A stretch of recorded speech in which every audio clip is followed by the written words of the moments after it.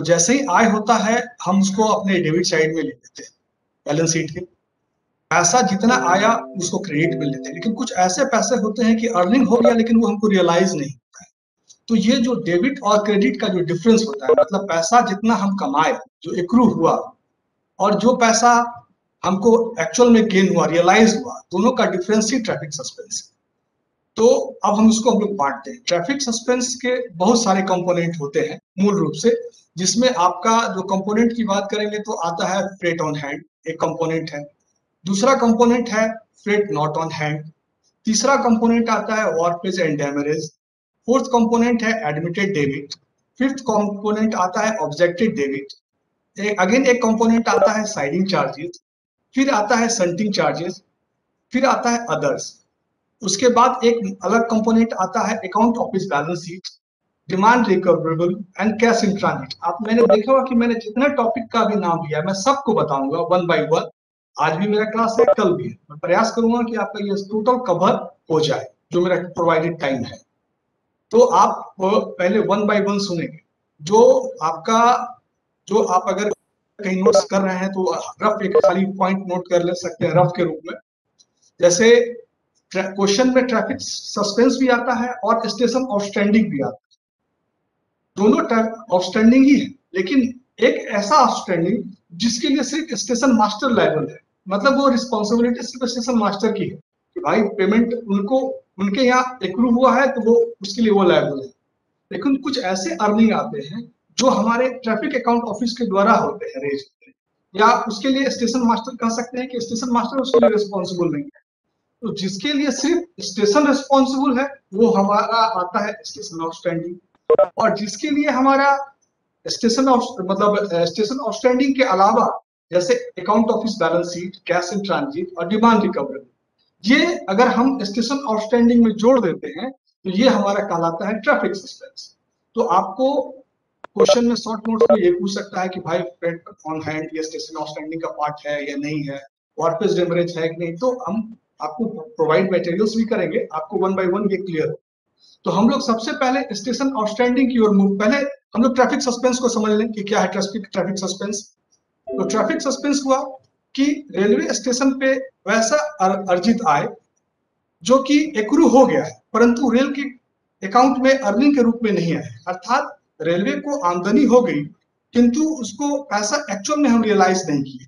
तो ये कहलाता है जो डिफरेंस होता है एक्चुअल में जो नहीं रियलाइज़ हुआ, वो न अनरियलाइज अमाउंट ही एक्चुअल में ट्रैफ़िक सस्पेंस तो हम लोग जैसा कहे कि इसमें station outstanding plus AOB demand recoverable and cash in transit आता है।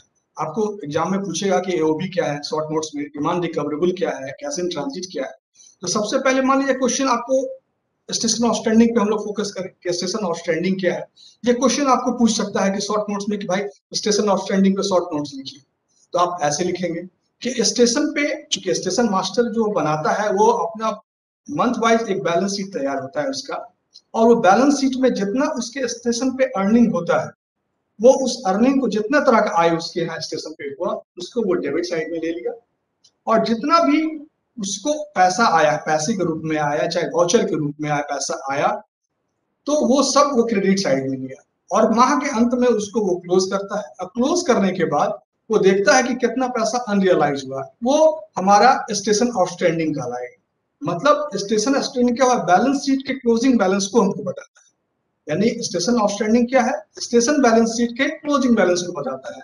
और इसको हम लोग अगले माह कैरी फॉरवर्ड कर देते हैं। जब अगला स्टेशन अगले मंथ स्टेशन मास्टर अपना बैलेंस बनाएगा बैलेंस शीट बनाएगा तो इस अमाउंट को वो अपने ओपनिंग बैलेंस में लेगा। और एक्चुअल में ट्रैफ़िक आउटस्टैंडिंग जो है स्टेशन आउटस्टैंडिंग जो है वो हमारा ट्रैफ़िक सस्पेंस का ही एक पार्ट है। ये कुछ और नहीं बल्कि स्टेशन आउटस्टैंडिंग अगर आपको ऑब्जेक्टिव क्वेश्चन में आ गया टिक मारने के लिए भाई स्टेशन आउटस्टैंडिंग किसका पार्ट है तो ये ट्रैफ़िक सस्पेंस का पार्ट है। तो ये है स्टेशन आउटस्टैंडिंग आप समझे अब इससे हम आपको क्लास के बाद ये पूरा लिख करके दे देंगे ताकि आपको कोई कंफ्यूजन ना हो। अब हम लोग आते हैं कि जो स्टेशन आउटस्टैंडिंग के अलग अलग कंपोनेंट के विषय में हम आपको जैसे बताए कि भाई अलग अलग कंपोनेंट होता है। तो उसमें एक मेजर कंपोनेंट होता है फ्रेट ऑन हैंड तो अभी जो वर्तमान परिदृश्य में फ्रेट ऑन हैंड या फ्रेट नॉट ऑन हैंड ये सब कंपोनेंट है। लेकिन ये एग्जिस्ट अभी नहीं करते। अभी कहीं रेयर में किसी केस केस में ये आ रहा है चूँकि ये जनरली टू पे केस में आता था कि भाई माल बुक कर ली और अगला स्टेशन पे जो माल गया वहाँ पार्टी पेमेंट करेगा। तो उस केस में फ्रेट ऑन हैंड एराइज होता है या freight not on hand arise होता है। तो अब हम लोग, क्योंकि अब पढ़ना है और आपको एग्जामिनेशन में लिखना पड़ेगा, क्योंकि अभी ये फुल्ली एबॉलिश नहीं हुआ है। अभी भी हमारे ट्रैफ़िक सस्पेंस में फ्लेट ऑन हैंड या बैलेंस शीट में फ्रेट ऑन हैंड रिफ्लेक्ट करता है, इसलिए इसको हमको जानना है कि भाई freight on hand on hand होता क्या है। तो जनरली क्या हुआ कि भाई माल कहीं स्टेशन से बुक हुआ, मान लिया पटना जंक्शन से माल बुक किए, दानापुर माल चला गया। तो दानापुर स्टेशन पे माल पहुँचा, अब पार्टी कोई आना है तो पार्टी नहीं आया और सर भाग गया। तो क्या है कि माल जैसे ही पहुँचा तो स्टेशन मास्टर क्या करेगा? जैसे ही माल आया वो अपने बैलेंस शीट के डेबिट साइड में उसको ले लेगा कि भाई कोई माल आया है जिसका वैल्यू पाँच सौ रुपया है पार्टी पाँच सौ रुपया देगा और उसको अपना माल को ले जाएगा। तो हम क्या करेंगे? अपने स्टेशन बैलेंस शीट के डेबिट साइड में फ्रेट ऑन है।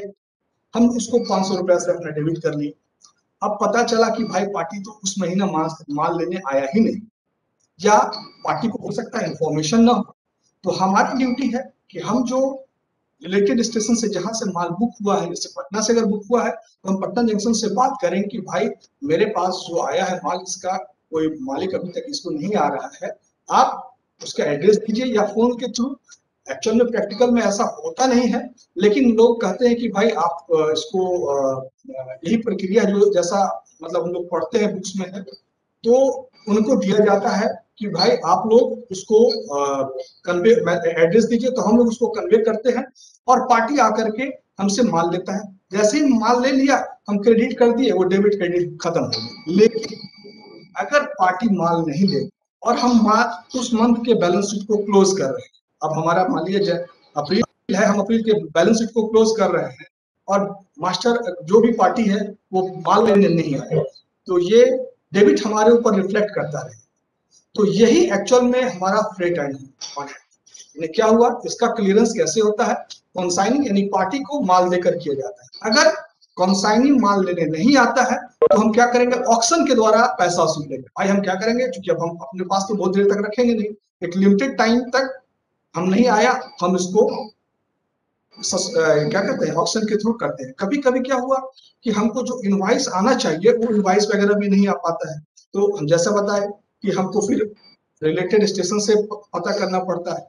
तो फ्रेट ऑन हैंड एक्चुअल में यही है कि माल हमारे पास आ गया, लेकिन पार्टी माल नहीं रिसीव किया और हम बैलेंस शीट उस महीने के क्लोज कर तो वो डेबिट जो अमाउंट से हुआ, जितना का माल हमारे पास पड़ा है क्योंकि पार्टी पैसा देगा तभी माल छोड़ाएगा तो वो अमाउंट हमारा फ्रेट ऑन हैंड के रूप में आता है।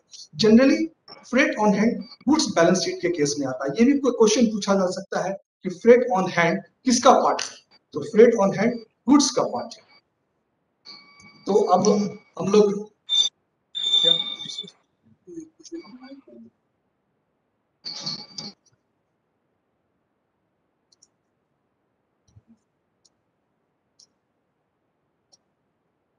अब हम लोग सेकंड पार्ट आते हैं कि freight not on hand freight not जैसे हम लोग फ्रेट ऑन हैंड की चर्चा की, अब हम लोग फ्रेट नॉट ऑन हैंड की बात करते हैं। फ्रेट नॉट हैंड में ऐसा हुआ कि जनरली जब कोई माल बुक करता है तो माल बुक होने के बाद क्या होता है कि एक इनवॉइस जो है एक्चुअल में आप लोग एमपीए आता है या इनवॉइस वगैरह होता है, जो रिलेटेड स्टेशन जहाँ माल जाना है, वहाँ पहले पहुँच जाता है। एक मशीन प्रिंटेड एब्स्ट्रैक्ट तैयार होता है, जिसमें जितना स्टेशन से माल कहीं कहीं स्टेशन के लिए बुक होता है, वो सारा समरी होता है और वो समरी हर एक स्टेशन पे पहुँचता है। तो क्या होता है कि वो समरी पहुँचने के साथ स्टेशन मास्टर क्या कहता है कि भाई हमको ये माल आना है बुकिंग के थ्रू, वो अपने बैलेंस शीट में उसकी ड्यूटी है कि वो डेबिट में ले ले, कि भाई ये माल हमारे पास लेकिन हो सकता है कि वो माल उसके पास आया ही नहीं। हो सकता है रास्ता में माल भुला जाए, स्टेशन आगे बढ़ जाए। कभी कभी आप देखते हैं ना कि आप माल बुक किए और आपके स्टेशन पे नहीं उतरा, वो माल आगे चला गया। लेकिन स्टेशन तो रिलेटेड स्टेशन तो उसको डेबिट में लिए हुए हैं। अब आप पार्टी आ गया लेने के लिए, पार्टी के लिए तो आपके पास माल है नहीं। तो ये आप डेबिट लिए हुए हैं तो ये जो आइटम होता है, इस तरह के आइटम्स को हम लोग कहते हैं फ्रॉड फ्रेड नॉट ऑन है यानी कि ऐसे माल जो स्टेशन पे आया, परंतु उसे हम एमपी या जो भी एब्स्ट्रैक्ट के सहारे हम अपने स्टेशन बैलेंस शीट के डेबिट में ले रहे परंतु माल स्टेशन पे पहुँचा ही नहीं। तो ऐसे स्थिति में क्या होगा कि जो फॉरवर्डिंग स्टेशन है, जहाँ से माल बुक हुआ था, हम पूछताछ करेंगे, भाई, कि हमारे स्टेशन पे अभी तक माल नहीं पहुँचा है। या तो या हो सकता है कि माल का रास्ता का परिवर्तन हो गया जिस रूट से आना था, पता चला कि रूट में डैमेज हो गया, वो अगला रूट से आएगा। या कहीं दूसरे स्टेशन पे उतर गया। या एक केस ये भी होता है कि हम माल बुक किए, माल बुक कर दिए, पैसा दे दिए, मेरा माल बुक हो गया इनवॉइस जनरेट हो गया।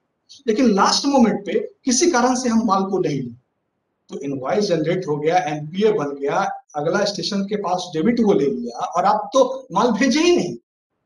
तब ये स्टेशन मास्टर की ड्यूटी है कि वो पता करेगा। पता करने के बाद उसको जो भी रीजन पता चला कि माल चोरी हो गया रास्ता में, डैमेज हो गया या माल बुक ही नहीं हुआ, उस केस में क्या करेगा कि जिस स्टेशन से उसको ये माल बुक हुआ है या जहाँ स्टेशन पे माल चोरी हो गया, वो उस स्टेशन पे एक ओवर चार्जशीट भेजेगा। और उसमें यह वर्णन होगा कि भाई ये माल आपके यहाँ से भेजा गया था, जो ये ये कारण से आपके यहाँ डैमेज हो गया, क्या ये सही है? वो उसको सर्टिफाइड करेगा। तो वो क्या कहेंगे? मतलब सर्टिफाइड ओवर चार्जशीट के थ्रू वो क्या करेगा? जब वो सर्टिफाइड करेगा तो हमारे पास वो भेज देगा सर्टिफाइड करके तो उस आधार पे हम क्रेडिट ले लेंगे। तो इस ढंग से क्या होगा कि मेरा जो फ्रेट नॉट हैंड का जो डेबिट आइटम था, वो क्रेडिट से क्लियर हो गया। तो एक्चुअल में फ्रेट नॉट हैंड यही कि माल हमारे पास इनवाइस आ गया, हम डेबिट लिए लेकिन माल ही नहीं आया और पार्टी हमारे पास पहुँचा हुआ है। अब पार्टी तो जब तक हमको पैसा माल देंगे, तभी हमको पैसा देंगे। तो ये हमारा ये हमारा ये हमारा हुआ फ्रेट नॉट ऑन है अब एक थर्ड इंपॉर्टेंट एलिमेंट आता है जो हमारा है, वो है जो क्वेश्चन में आपको अक्सर पूछते हैं, आप शॉर्ट नोट्स में भी पूछते हैं कि वारफेज चार्जेस क्या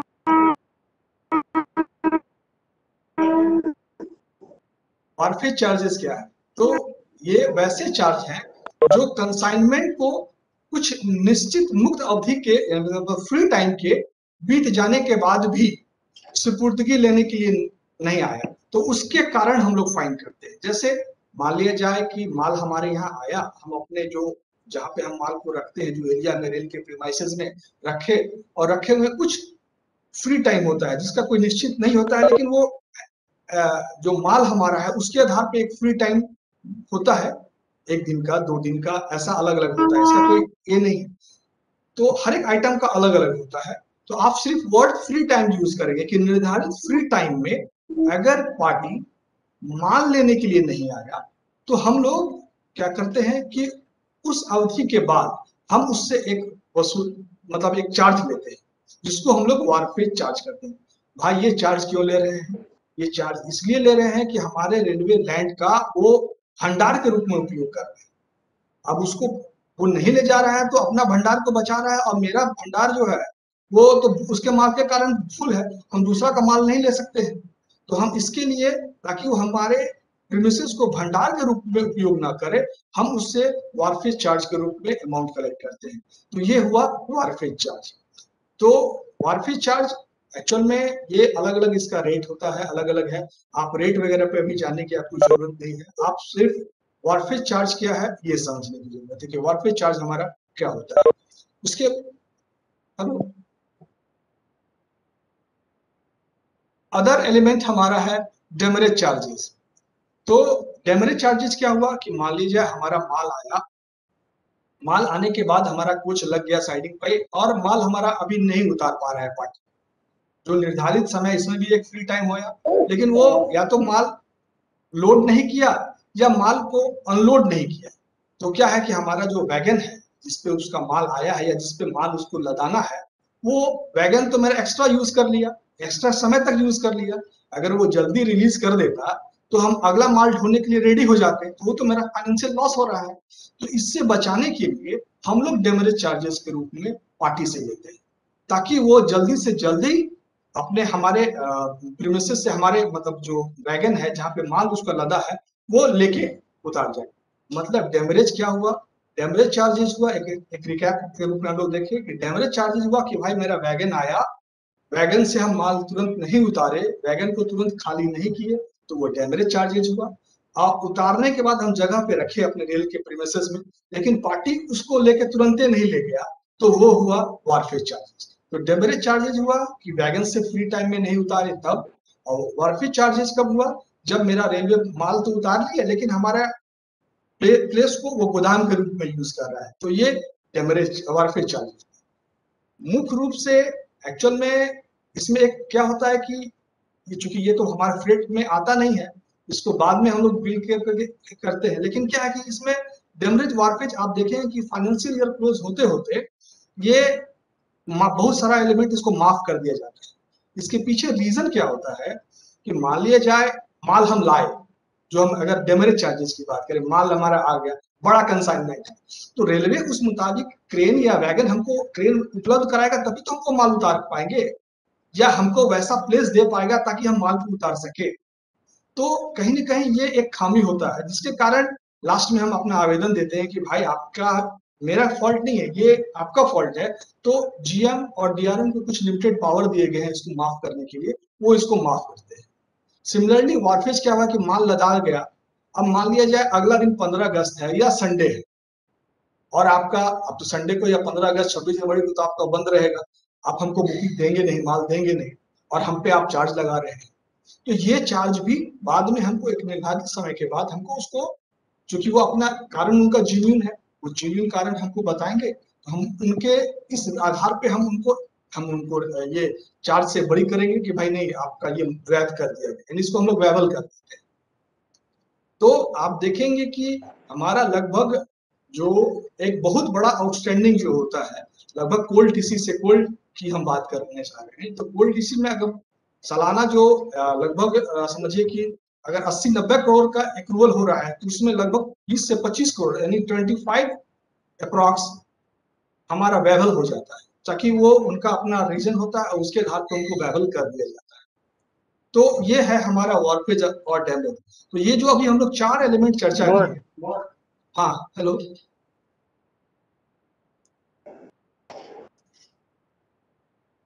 हेलो तो खैर चलिए। तो हम लोग अभी जो चार एलिमेंट का चर्चा किए वो स्टेशन ऑफ़ ट्रेंडिंग के पार्ट थे। Freight on hand freight not on hand wharfage and demurrage और एक चीज़ ध्यान जनरली ये चारों गुड्स बैलेंसिंग मतलब गुड्स फ्रेट से रिलेटेड है। मतलब अगर ये कहा जाए कि ये किसके आउटस्टैंडिंग के पार्ट्स हैं तो ये चारों आपके गुड्स आउटस्टैंडिंग के पार्ट पार्ट्स हैं। फ्रेट ऑन हैंड हाँ। सर दो गो के बाद हम दो गो है तो थोड़ा सा प्रकाश डाल दीजिए। हम नहीं सुन पाए थे। ओके। क्या फ्रेट हाँ दो जो फ्रेट ऑन ऑन हैंड और फ्रेट नॉट हैंड ऑन के विषय में। हेलो? देखिए फ्रेट ऑन हाँ हेलो हाँ बोला जाए। जी जी हाँ सर उसी हेलो? हेलो? बताया जो। हाँ हाँ तो चलिए फिर से हम उसको चर्चा कर रहे हैं। फ्रेट ऑन हैंड देखें। फ्रेट ऑन हैंड वो हुआ कि भाई हमारे पास माल आ गया स्टेशन पर, लेकिन पार्टी उसको डिलीवरी लेने नहीं आया। तो जैसे माल आ जाता है, स्टेशन मास्टर का ड्यूटी है कि उसको डेबिट लेना है, अपने बैलेंस शीट के डेबिट में ले लेना।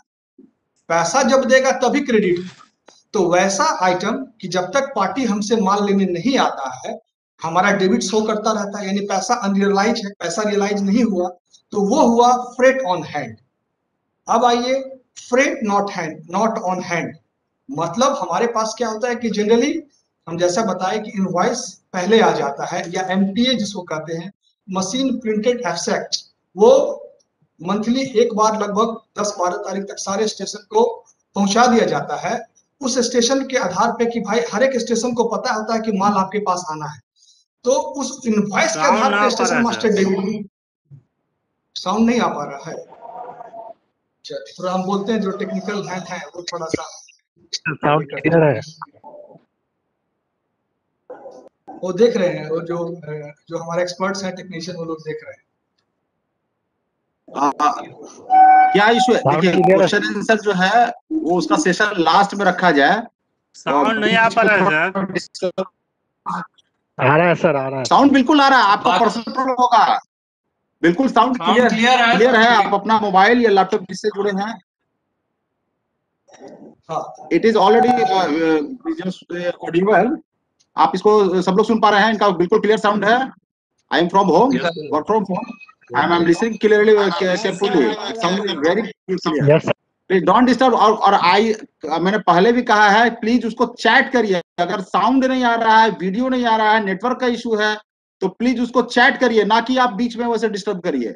चैट करिए, हम लोग हमारे पूरी टीम आपको इसमें सपोर्ट करेगी। अगर कि कोई साउंड ऑलरेडी यहाँ पर आईटी सेंटर में बैठ करके वहाँ पे लोग सुन रहे हैं, वहाँ पर भी उनका साउंड क्लियर आ रहा है।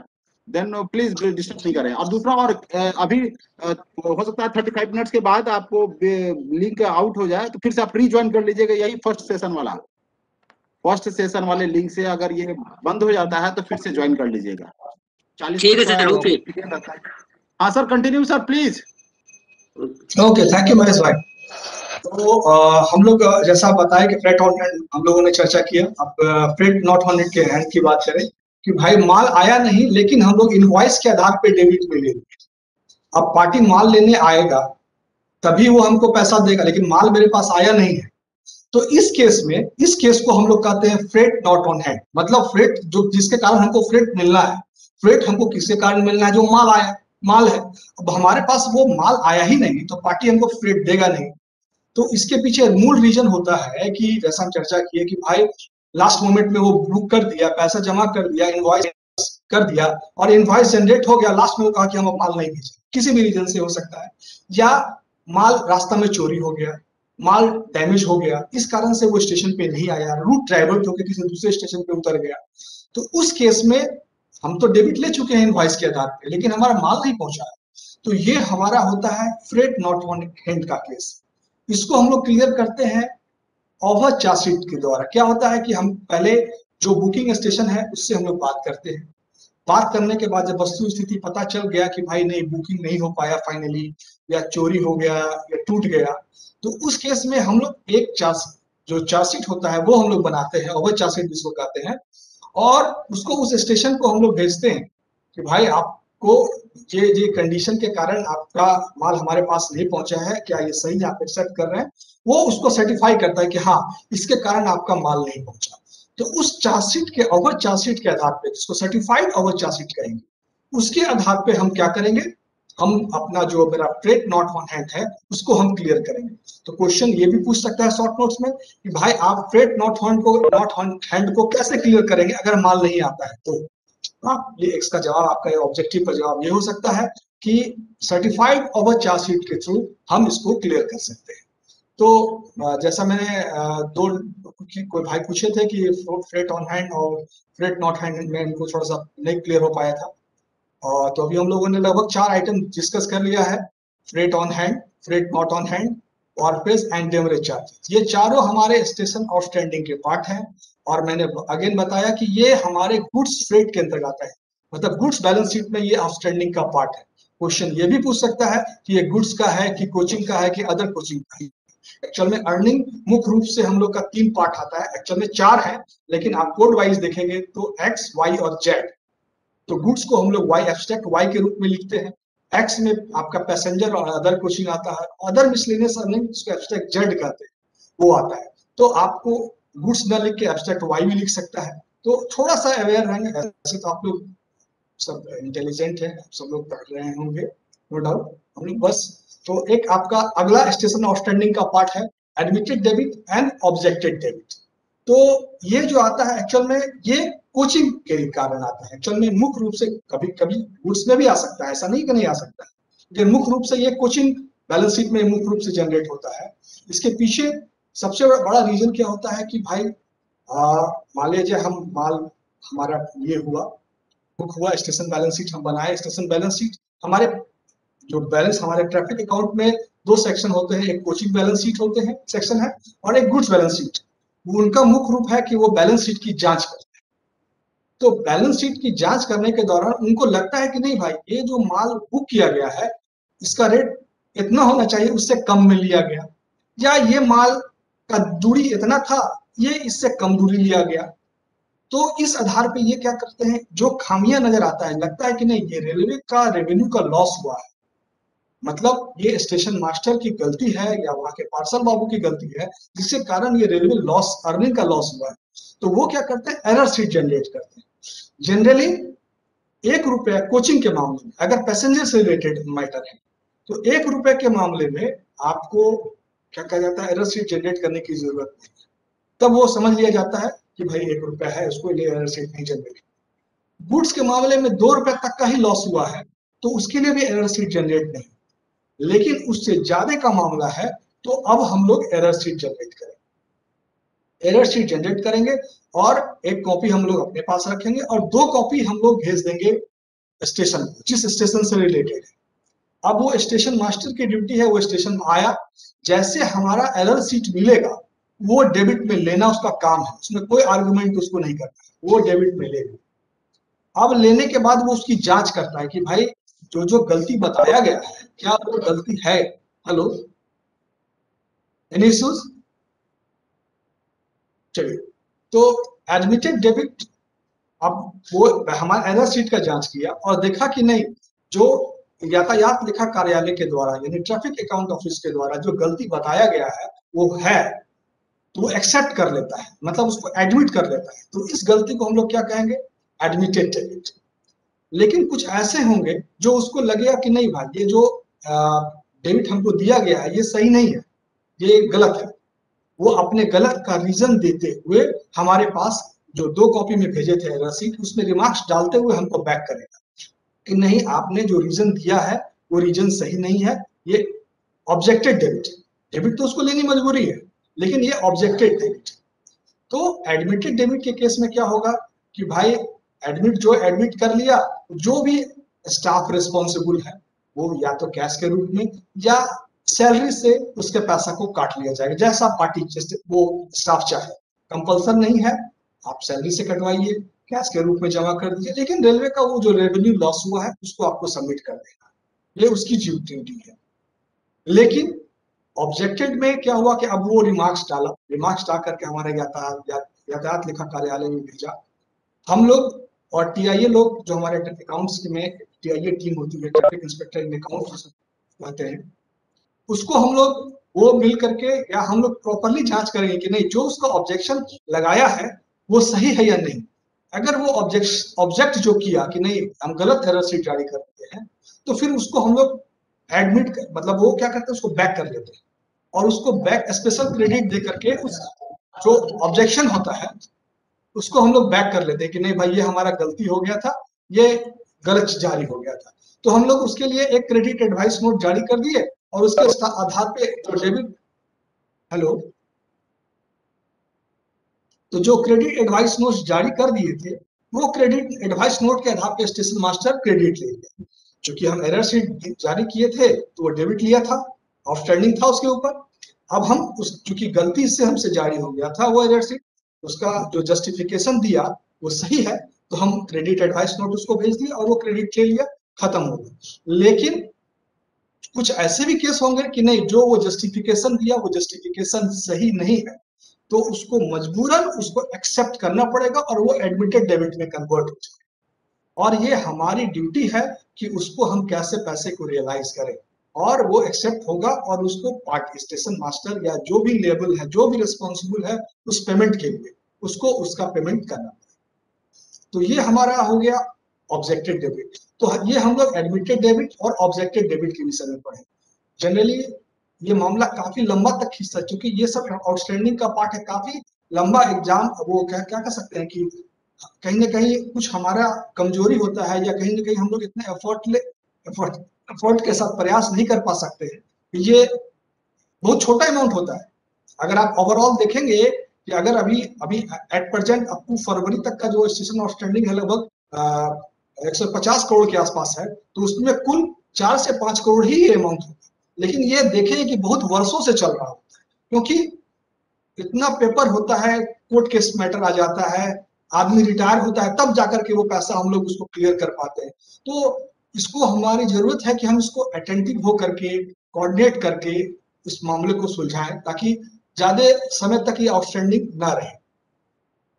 तो ये हुआ हमारा एडमिटेड और ऑब्जेक्टेड डेबिट अब एक इंपॉर्टेंट आप लोग पढ़े होंगे, देख रहे होंगे, एक आता है साइडिंग चार्जेस ये भी स्टेशन ऑफ़ स्टैंडिंग का ही पार्ट है।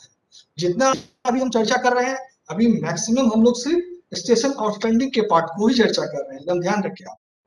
तो अब आते हैं साइडिंग चार्जेस होता क्या है कि जैसे हमारा कोल माइंस है या कोई बड़ी बड़ी कंपनी है, अब वो अपने दोहरे खर्च से बचने के लिए, या मान लिया अपने यहाँ से माल को, कोला को, या माल को लदा लदा करके हमारे साइडिंग पॉइंट पे भेजेगा तब हमारा स्टेशन पे फिर लोड होगा। तो क्या हुआ कि अपने फैक्ट्री से लोड किया, फिर हमारे साइडिंग पॉइंट पे अनलोड किया, फिर हमारे साइडिंग पॉइंट पे मेरे रैक पे लोड हुआ। तो इसमें उसका एक्स्ट्रा कॉस्ट आता है। रेलवे भी क्या करती है कि भाई डोर टू डोर सेवा देने के लिए, भाई उसके कंपनी तक, जहाँ तक उसका फैक्ट्री है या कोल माइंस के एरिया तक एक लाइन बिछाते हैं, जिसको हम लोग साइडिंग कहते हैं। तो उस साइडिंग के लिए साइडिंग बहुत तरह का होता है और आपको एक इंपॉर्टेंट बात बता दें साइडिंग एक्चुअल में प्राइवेट साइडिंग होता है असिस्टेंट साइडिंग तो असिस्टेंट साइडिंग में क्या हुआ कि पार्टी भी पैसा दिया और रेल का भी पैसा लगा है दोनों पैसा लगे। अभी एक बिल्कुल नया कॉन्सेप्ट आया है पीएफटी प्राइवेट फ्रेट टर्मिनल्स और ये क्वेश्चंस आपसे पूछा जा सकता है नए तौर पे तो आप साइडिंग चार्ज के साथ साथ आप नेट पे पीएफटी को भी देखने का प्रयास करें कि पीएफटी क्या है। क्योंकि हो सकता है कि क्वेश्चन जो हमारे सेट करें, वो चूँकि अब अपग्रेड भी हो रहा है नया में तो साइडिंग हमारा पुराना सिस्टम था, अब लगभग साइडिंग जो चल रहा है, वही चल रहा है। ये दिया गया है कि आप साइडिंग को प्राइवेट पीएफटी में कन्वर्ट करें।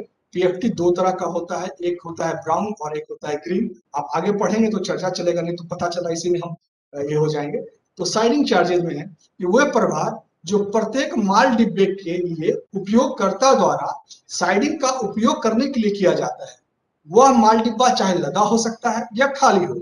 यदि इसकी साइडिंग से स्टेशन उल्टी ढुलाई की जाती है तो यह प्रभार दिया जाता है। इन प्रभारों की वसूली स्थानीय तौर पर होती है, जिसको हम लोग कहते हैं साइडिंग चार्ज और स्टेशन आउटस्टैंडिंग का एक छोटा सा लास्ट पार्ट है सेंटिंग चार्ज तो हम साइडिंग पे तो बताए अब साइडिंग पे माल लदाएगा तो हमारा इंजन क्या करेगा? जो लोको है, वो रेलवे का जो लोको रहेगा, वो संटिंग भी करेगा माल को लादने और ये करने के लिए। तो हम इसके लिए संटिंग चार्ज भी लेते हैं इससे साइडिंग पे। तो ये है साइडिंग और संटिंग चार्ज तो आज हम लोग नॉर्मली आपसे जो पार्ट डिस्कस किए थे अब लगभग बारह बजकर छत्तीस मिनट हो चुका है। तीन चार मिनट ही बचा है क्लास ऑफ़ होगा। क्योंकि अभी हमारा अकाउंट्स का टाइम भी चल रहा है। थोड़े मेरी भी मजबूरी है। बाकी चीज़ हम लोग कल क्लियर करेंगे। हाँ बोला जाए। तो हम लोग ये जो संटिंग चार्जेस है ये अभी तक हम लोगों ने जो चर्चा किया फ्रेट ऑन हैंड बता private freight terminal private freight terminal जी। तो आप लोग हाँ ओके वेलकम तो अभी तक हम लोग जो स्टेशन ऑफ़ स्टैंडिंग का पार्ट किया चूँकि ये ट्रैफ़िक सस्पेंस का ही भाग होता है स्टेशन ऑफ़ स्टैंडिंग उसमें हमारा फ्रेट ऑन हैंड हुआ फ्रेट नॉट ऑन हैंड हुआ वारफेज एंड डेवरेज चार्जेस हुए एडमिटेड डेबिट हम लोग डिस्कस कर लिए ऑब्जेक्टेड डेबिट डिस्कस कर लिए साइडिंग कर लिए और सेंटिंग कर लिए। एक अदर्स भी होता है, जो कि बहुत सारा कारण से होता है। स्टेशन पे आग लग गया, या कोई भी रीजन हो सकता है तो वो अदर्स के अंतर्गत आता है। तो इस ढंग से हम लोगों ने आज लगभग एक क्लास किया। कल इसको हम कोशिश करेंगे कंक्लूड करें और कुछ क्वेश्चंस भी आपके लिए हम शॉर्ट क्वेश्चंस देंगे, आप उसको बनाएँगे। और हमको लगता है कि अगर ट्रैफ़िक सस्पेंस का कोई क्वेश्चन होगा तो हम ऐसा उम्मीद करते हैं कि वो आपसे छूटना नहीं चाहिए। वो शॉर्ट में भी होगा लॉन्ग में भी होगा। और कुछ हम एक्स्ट्रा भी कल डिस्कस करेंगे लॉन्ग क्वेश्चन में, क्योंकि आपसे पूछा जाता है कि कैसे कम करेंगे आप सस्पेंस क्या क्या करना चाहिए? तो हम लोग उस व्यू से भी चर्चा करें तो आज के लिए फ़िलहाल दोस्त संटिंग चार्जेज आपने बोला। संटिंग चार्जेस वो हुआ कि जैसे हम लोगों ने बताया कि साइडिंग पे हम रैक तो गया साइडिंग पे तो जो फैक्ट्री के लिए साइडिंग पे गया हुआ है, माल लादेगा तो वहाँ पे संटिंग करेगा ना? आगे पीछे संटिंग का मतलब क्या होता है? हम लोग देखते हैं कि स्टेशन पे पैसेंजर को ट्रेन को आगे पीछे इंजन करके थ्रू करवाया जाता है, सही ट्रैक पे लाइन लेके, लाने के लिए। तो उसी तरह रैक पर माल लदाने के दौरान सही ढंग से हम लोग उसको मूवमेंट करने के लिए सही वैगन पे सब माल लदा इंजन को आगे है, उसको पीछे करना, इस ढंग से अरेंजमेंट जो करना है ये एक्चुअल में सेंटिंग है। तो इसके लिए रेल चूँकि रेल का लोको यूज़ हो रहा है तो रेल के लोको यूज़ होने के कारण हमसे चार्ज लेंगे तो ये है सेंटिंग चार्जेस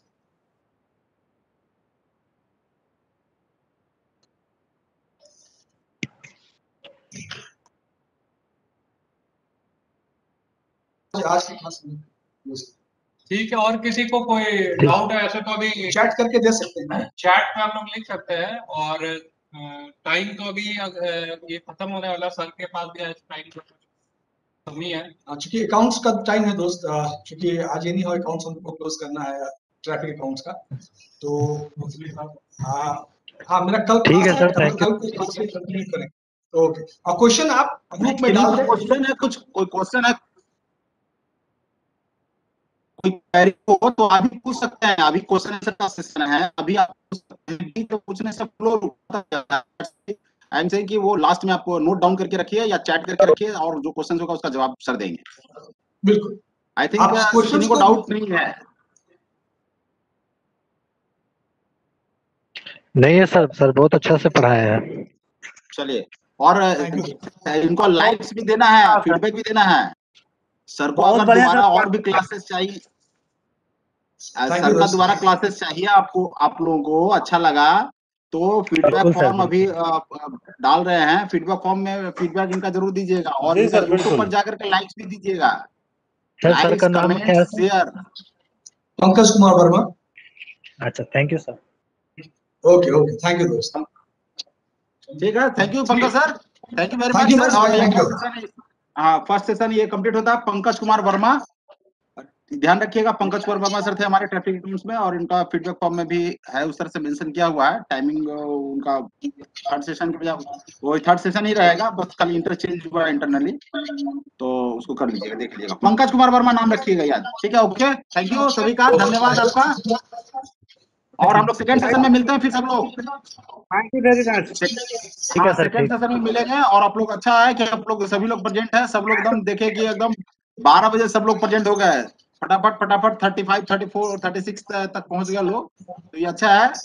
और इस तरह से रखना है। और हमको उम्मीद है कि दो सा- दो तीन दिन जो बीच में गैप मिला इसमें आप लोगों ने अपना रिवाइज भी किया होगा। सेकेंड सेशन में आलम सर है। आलम सर रहेंगे हम लोग हम लोग के बीच में। ठीक है स्पेशल थैंक्स हमारी आईटी टीम को। ठीक है सर। ठीक है कंटेंट जो भी सर का रहेगा वो कल हम लोग वो शेयर कर देंगे। तो सर जब कल क्लास ले लेंगे खत्म कर देंगे तो।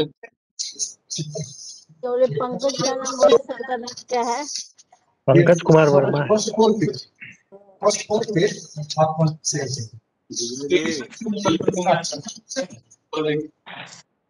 सर का कंटेंट कल कर एक ही साथ सारा शेयर कर दिया जाएगा आज भी सर जो क्लास लिए हैं और कल भी जो सर क्लास लेंगे वो सारा एक साथ कल शेयर कर दिया जाएगा। और जो भी आपका डाउट होगा आप लोग अगले क्लास में भी सर से पूछ सकते हैं। अब मीटिंग खत्म करते हैं।